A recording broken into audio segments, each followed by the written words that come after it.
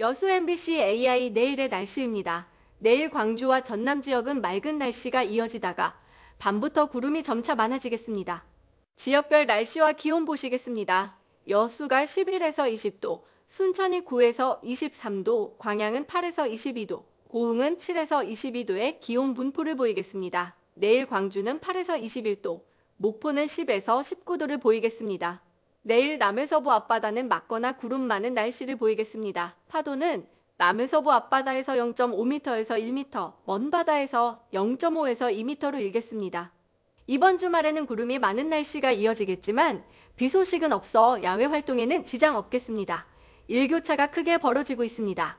건강 관리 항상 유의하셔야겠습니다. 지금까지 AI 날씨였습니다.